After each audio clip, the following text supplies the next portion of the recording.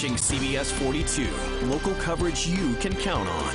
This is the CBS 42 Morning News. Live look, here's a wider view of that 18-wheeler overturned on 65 northbound, and uh, you can see one side in the air, uh, stopping traffic in one direction for at least a lane or two. Addie is watching all of it, and will have it covered in terms of drive times and how it's affecting your commute if you come through the city center in just a couple of minutes.